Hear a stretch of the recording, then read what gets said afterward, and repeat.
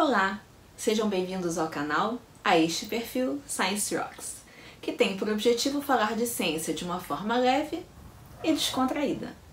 Eu sou Cristiane Bretas e hoje eu trago para vocês mais um episódio da nossa série O Universo de Medicamentos. Karine Paulo de Souza tem mais um recadinho para vocês.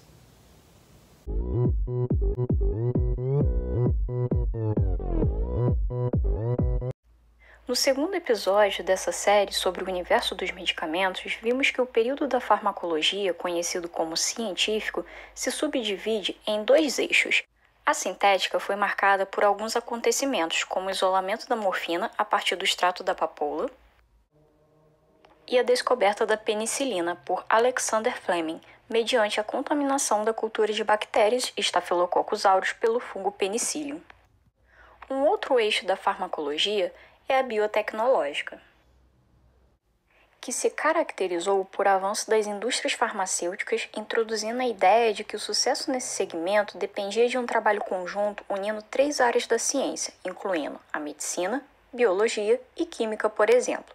Portanto, no intervalo entre guerras, esse segmento na indústria farmacêutica iria se desenvolver cada vez mais se essas áreas da ciência se unissem, ou seja, fosse um trabalho interdisciplinar. Durante a Segunda Guerra Mundial, na Alemanha nazista, vários experimentos cruéis em seres humanos foram realizados.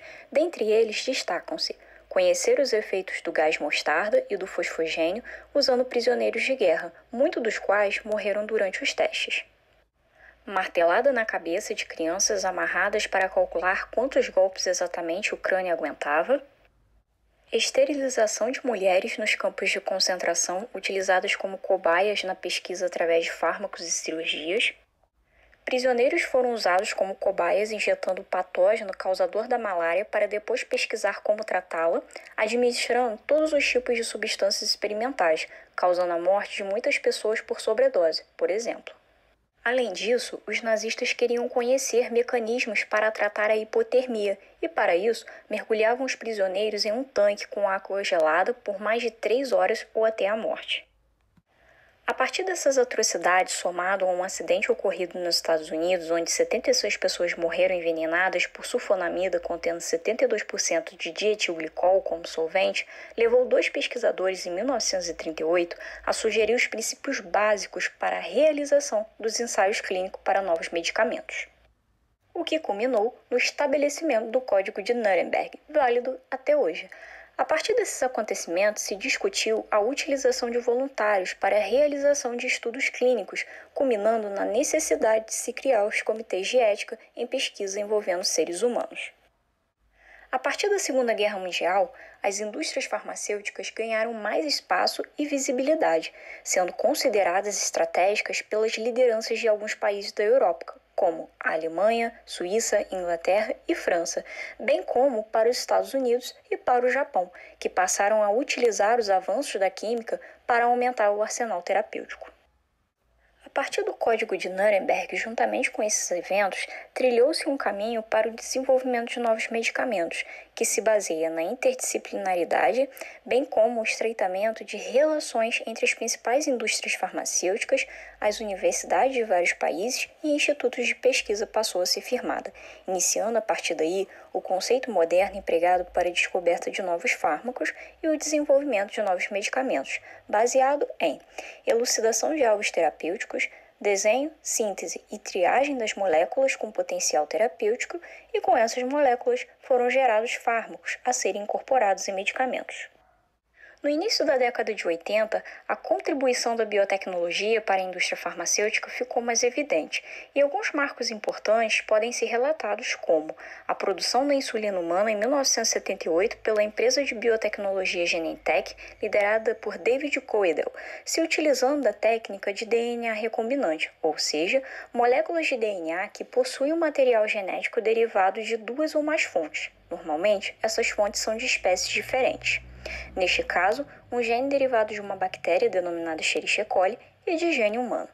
No entanto, apenas em 1982 a insulina humana recombinante foi aprovada e liberada para comercialização pelo FDA, um órgão que regulamenta medicamentos e alimentos nos Estados Unidos. O segundo marco foi a produção do hormônio de crescimento GH, em 1981, pela mesma empresa e também através do método de DNA recombinante. Até aproximadamente 1980, a extração do GH era realizada de forma invasiva, a partir de uma glândula encontrada na região cerebral de humanos, denominada hipófise, que é produtora e armazenadora deste hormônio. Neste procedimento, havia sérios riscos de contaminação tanto para o paciente que recebesse este hormônio, quanto para o doador, por alguns vírus, como o da hepatite e HIV, por exemplo. Por último, um dos marcos mais importantes da biotecnologia foi a primeira tentativa de terapia gênica, em 1989, realizada pelo médico William French Anderson, após obter a autorização dos comitês de ética para iniciar este teste em uma menina de 4 anos de idade incapaz de levar uma vida normal, porque sofria de uma doença genética denominada Síndrome da Imunodeficiência Combinada Severa causada por deficiência de uma enzima indispensável para o desenvolvimento do sistema imune. Crianças portadoras dessa síndrome têm baixíssima resistência a infecções e, se não forem tratadas, morrem em geral antes dos seis meses de idade. São conhecidas como crianças da bolha, por necessitarem de isolamento feito frequentemente por meio de compartimentos de plástico transparente.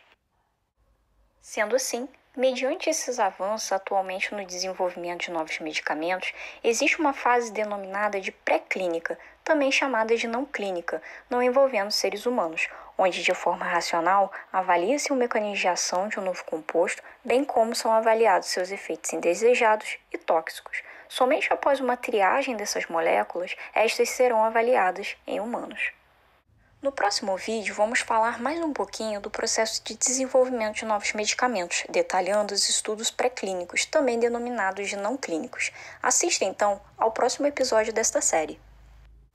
Bom, espero que vocês tenham gostado desse vídeo. Se vocês gostaram, salvem, curtam, compartilhem, sigam o perfil do Science Rocks no Instagram e no canal do YouTube. E se vocês tiverem alguma dúvida ou quiserem que a gente traga algum assunto em especial, deixe aqui embaixo nos comentários. Obrigada e até a próxima!